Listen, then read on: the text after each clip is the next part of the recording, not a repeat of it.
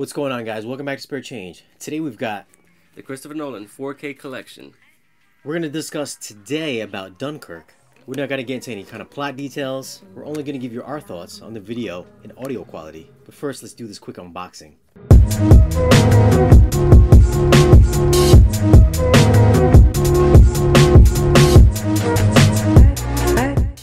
Alright, so we sat through the whole movie. It was like an hour and 50 minutes long. It was gripping, very tense. A lot of tense moments. If not a little bit boring. Some may say that. this is my second time watching it. It was kind of tough to sit through it because I already saw it. I knew what was going to happen. Yeah, it's my first time watching it. I thought I thought it was a little slow, but visually, from a from a video standpoint, from a technical standpoint, I thought uh, image quality was was almost perfect. Man, this thing looked fantastic. Yeah, yeah absolutely. When anyone watches 4K Blu-ray, they're looking for those sharp moments. They're looking for those moments that say, "Wow, this looks 4K." And in this film, you have a lot of those moments. Because most of the movie is shot in IMAX, because a lot of it is full screen, it's going to take up a majority, or if not all, of the screen that you have. If you're on, you know, the platform of a TV, over here we have the projector, you know, so it's a little bit different. You're going to get a lot of those standout moments where you say to yourself, wow, that's 4K. Yeah, that looks like dare I mention to say it? I think it's something like is it like 80%, like an 80-20, maybe 75? Yeah, that's what some people said. Right. So, I hate to bring it up, but Planet Earth, right? That's real life. That's not something that you see a whole lot of styling and effects on, no grain and all that stuff. So I'm gonna kind of compare it to that in the sense that it's very, very sharp, very vivid, very clear. Yeah, of course you have your little bit of styling to it because it is a film, because it is fantasy, but in the end, shot on IMAX. 4K, the DI on this thing. But is this? This is not fantasy though. This is true life. This was based on a true story. This was we can't forget about that. And I know a lot of people like our discussions, so as you've heard, we're not just talking about the video and audio on this. We're going to talk a little bit about the film as we have. And yeah, it's not fantasy. This is something that really happened in real life. So I think this whole thing about it looking very real, it looking lifelike, lends to the style and the theme and the story of this film. So for like sharpness quality wise, I mean, this was shot on 35 millimeter and 75 millimeter IMAX cameras. So I mean, when you're getting those those large blow up shots that are gonna fill your screen, which is like 80%. So if you guys are watching on a TV screen, it's gonna fill the entire field of view. It's gonna fill your entire screen. You're not gonna get the letterboxing on the top and the bottom. For those times where it does cut to the letterboxing parts, you know, you guys are gonna know it. But for the full screen moments, those IMAX cameras, man, these things are like super 4K crisp, super 4K sharp. This is like reference material, demo material. It looks like it's almost shot on digital. That's right. Yeah, a lot of people will say that digital is better because of extra qualities that you have when it comes to, you know, giving characters to the film. But you have to remember that film being an analog medium, as Christopher Nolan has praised and has praised in the past, it's something that has its own character. And we see that here and you know, one of the best parts about that is you get that sharpness. And for all the grain haters out there, if you're a grain hater, there's almost zero grain in this. Yeah, so it's pretty crazy. You'll have a good time watching this one. But for as far as like detail is concerned, I mean, there's obviously the close-ups, super crisp, super sharp. I mean, there's wrinkles, there's little pores, little details. You can see the fine lines in the hair, um, the wool coat, wool coats of the um, the soldiers. Yep. That's that's super super crisp, super sharp. You can see the little little fuzzies off the wool. Um, I think there's a there's like a wooden boat that's like handmade or something like that. That they're in like a U-boat or something. Maybe not a U-boat, but they're like some kind of a like handmade boat. You can see the texture on that. Yep. Like the wood stain, the age of the wood, super crisp. They're on the beach. Little little specklets, little of the sand, pieces of sand in there. Yep. Crystal clear. Looks fantastic. Resolution is great. Yeah, resolution's great.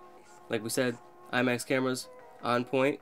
And then those moments when Tom Hardy is up in the air and there's dogfighting going on. Those were some very good moments. And as far as the visuals were concerned, you see all the little instruments in Tom Hardy's aircraft.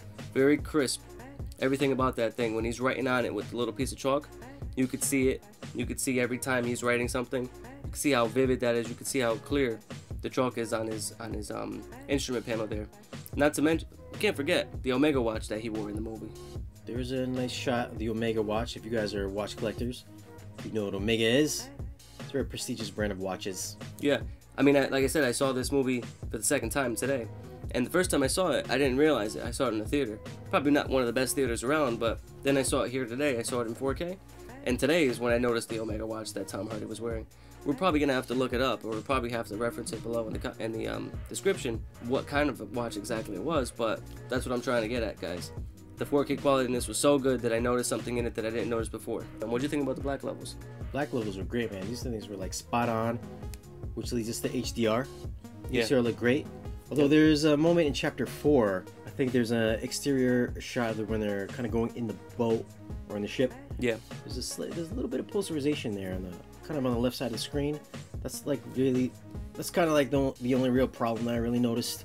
Um, but it's very faint. I mean, you probably won't notice it on the TV because it might, I mean, you know, your display might be a little bit smaller. We're watching on a larger screen, yeah. so it's a, it was a little bit more noticeable. I mean, we kind of had to look for it, but it was there.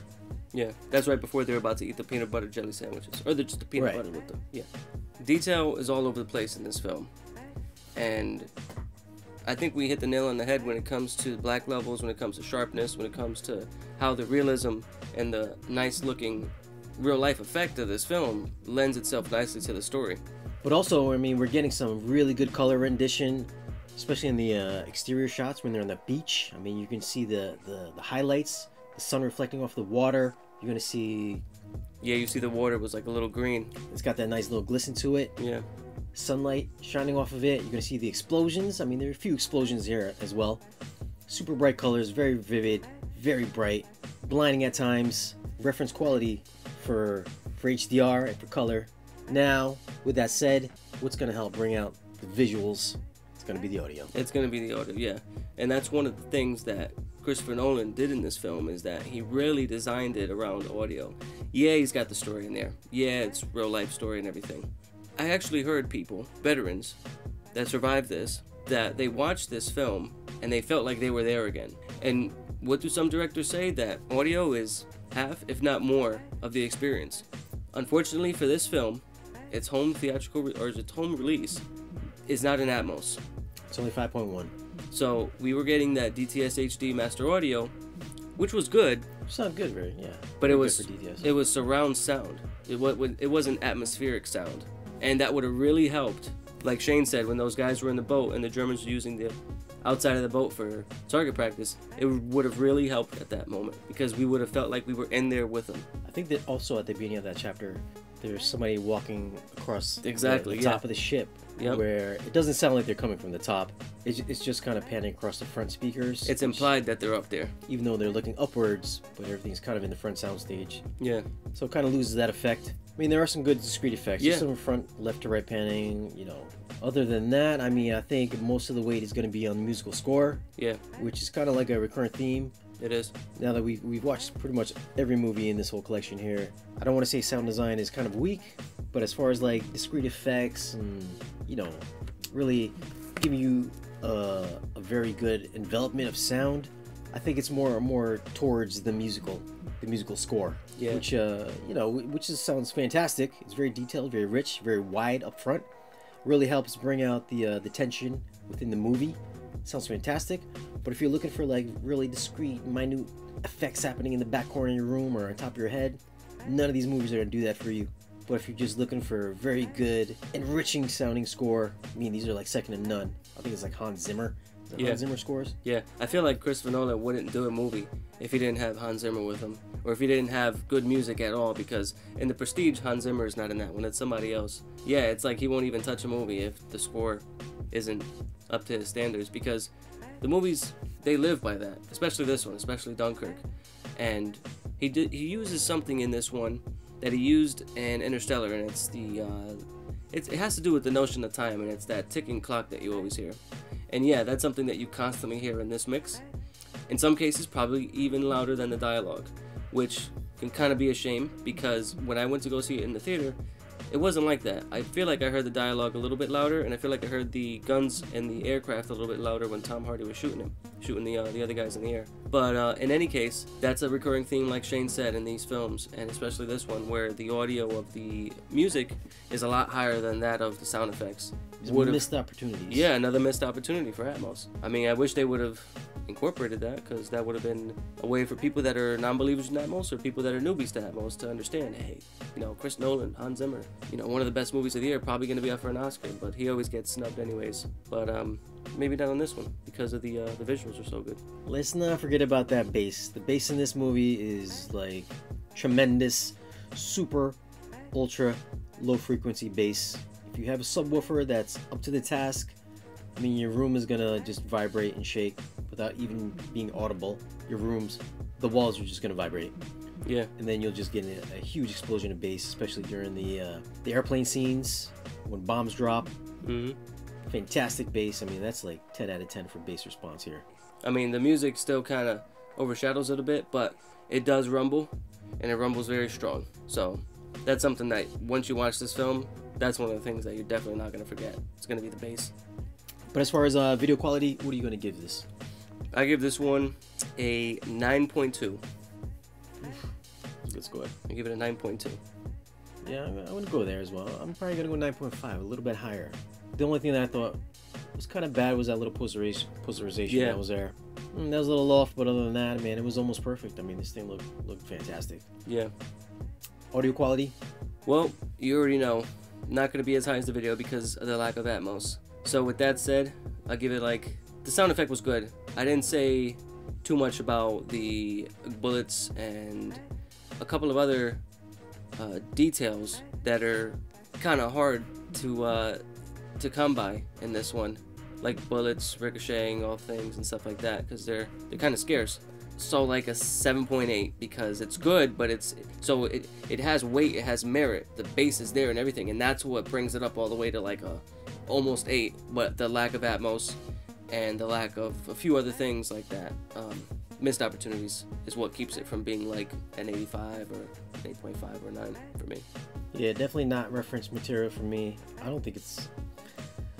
I want to say it's demo in the respect that there's great bass if you want to show like a good. If you're working in a retail store, you want to show off some subwoofers. Yeah. A lot of good material here for that. Yep. If you want a good movie for surround envelopment, this part this is not going to be the movie for you. Nope. You're just not missing. You're missing that that bubble of surround. No bubble of surround. Unfortunately, that's that's kind of bad. It's like I, like you said, it's a missed opportunity. There could be there could be some fantastic effects going on overhead and just behind you, around you, but it's just not there. For me, I'm, I'm probably gonna give it like a 6.5, maybe 6, 6.5, just for like, just for that surround envelopment.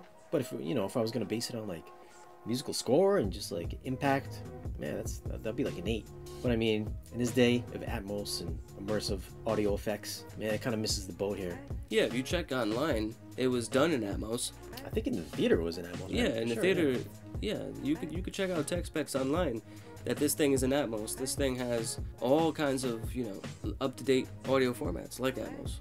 I forget what else is there. There's like Auro 3D, I believe, as well. I'm not Yeah. sure if it, this this had that, but it had something else other than Atmos when I checked the tech specs. I can't remember what. For this one, for the for this release to resort down to a high end Blu-ray standard, it's kind of like what? We kind of we're kind of surprised by that before this uh, collection came out. Now, if you guys are interested in purchasing this movie or the entire collection, there's going to be a link in the description down below. Now, by using those links, it helps the channel and it also helps us bring you reviews just like this one. and it helps us get more of these, more collections, more 4K Blu-rays to review.